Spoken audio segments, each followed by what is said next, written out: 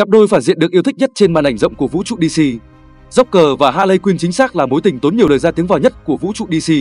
Được mệnh danh là hoàng tử tội phạm DC, Joker luôn lọt top những nhân vật phản diện được yêu thích nhất trên màn ảnh. Chính vì thế trong hơn 50 năm đã có nhiều phiên bản Joker được đưa lên màn ảnh. Điều khiến Joker nguy hiểm hơn cả chính là sự khó đoán trong từng hành động. Hắn không màng đến tiền bạc hay danh vọng nên chẳng thể nào bị mua chuộc. Ngoài ra hắn cũng không có mục tiêu cụ thể nên không thể đoán được các nước đi của hắn.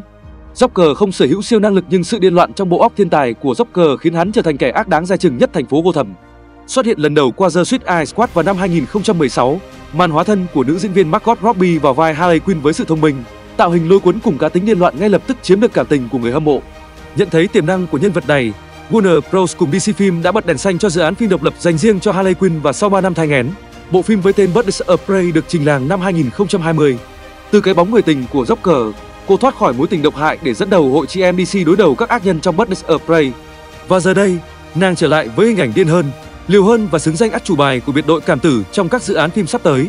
Cũng giống như tình cũ dốc cờ, Harley Quinn không có những siêu năng lực nhưng khả năng cận chiến cùng sự điên rồ khiến cô trở thành một kẻ thực sự khó chơi với bất cứ ai.